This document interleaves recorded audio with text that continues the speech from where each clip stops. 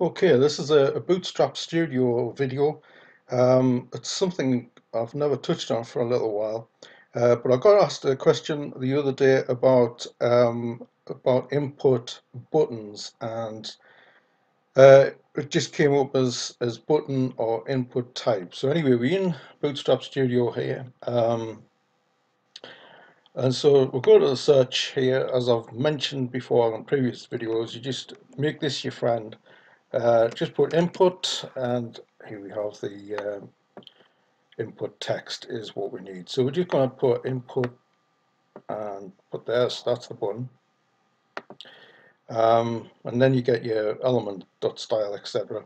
But if we just um, go on there and we right click this and then uh, if I remember it is converter HTML. No, let's just do this again edit code. So we'll put the edit code and here we have this is now HTML.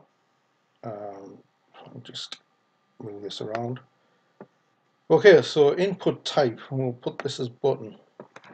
So just pop that as button. Okay, um, and then we can even put our style here, which is style equals uh, something like say for example height and 50 pixels as an example.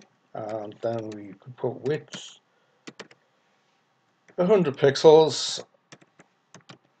Um, and then we just apply um, yeah another thing is we could put background ground color. You can also you, uh, do the uh, use this uh, CSS editor on here, but I'm just saying what, what you can actually do when you edit the code. So just put red there, and here we just go apply. Okie dokie. So there's uh, basically how you uh, put a button. So and here on the left hand side is input type button, styles, height 50 pixels, width 100, and obviously you've got your background color as red now. So uh, just a little tip, um, so it's edit code and that will bring you into the HTML bit and then you can really like sort of do things uh, quite easy from there. So thanks for watching and I hope you found this helpful. So, so thank you for watching and thank you for listening.